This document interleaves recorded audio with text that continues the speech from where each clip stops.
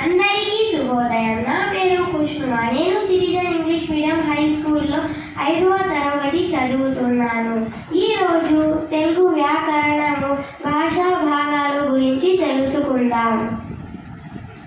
భాషా భాగాలు ఐదు.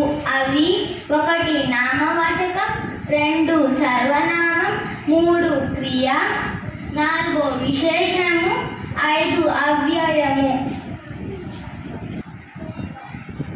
నామవాచకం పేర్లను తెలిపే పదాలను నామవాచకం అంటారు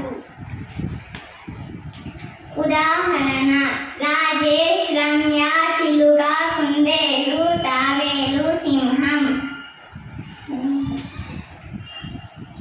సర్వనామము పేర్లకు బదులుగా వాడే పదాలను సర్వనామము అంటారు.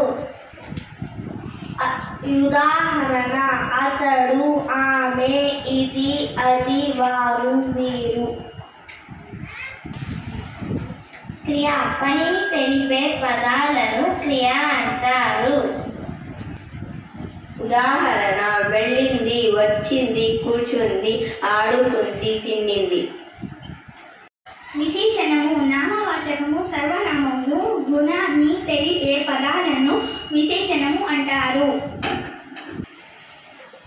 ఉదాహరణ తెల్లని నల్లని చల్లగా వెచ్చగా. అవ్యాయము లింగ వచన విభక్తులు లేని పదాలను అవ్యాయము అంటారు. ఉదాహరణ